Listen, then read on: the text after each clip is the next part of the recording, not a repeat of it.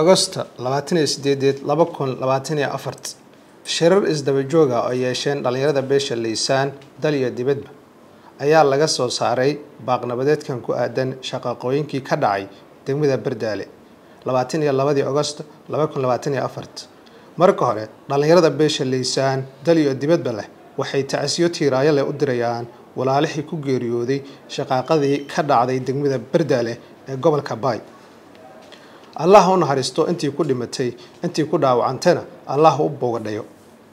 baaqnabadeed waxaan lamber kow waxaan ku baaqaynaa in si deg dega loo joojiyo dagaalada iyo xasradaha ka taagan degmada bardaale lana isku turo aan dhibaato hor leh aan la isku horseedin.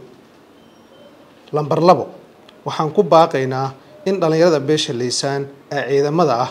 kuna sugan degmada bardaale iyo kuwa bannaanka ka joogaba aan mar kale xabado isla dhicin ay ogaadaan inay yihiin dad walaalo ah aanan kala maarmin.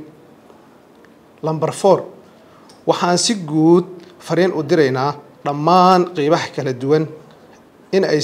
dhammaan qiibaha kala duwan bulshada in aysan qeyb ka noqon kicin iyo abaabul dagaal kale aan ku weynayno geesiyaal kale oo naga mid ah. Lamber afar waxaan fariin u diraynaa siyaasiyiinta beesha liisaan ee nagu matela dhanka siyaasadda heer federaal iyo heer state. Waxaad tihiin mas'uuliyiinta beesha liisaan waxaan idinku tuhunsannahay inaad qeyb weyn ka tihiin dhibaatada ka taagan degmada bardaale walaalayaal waxaan idinka codsanaynaa inaad alle ka cabsataan aad garab noogu noqotaan hal u helidda dhibaatada ka taagan degmada bardaale. Lamber shan waxaan fariin u diraynaa dowladda federaalk soomaaliya iyo dowlad goboleedka koonfur galbeed iyo hay'adaha ku shaqada leh in dadka walaalaha isleynayo ay mas'uuliyad ka saaran tahay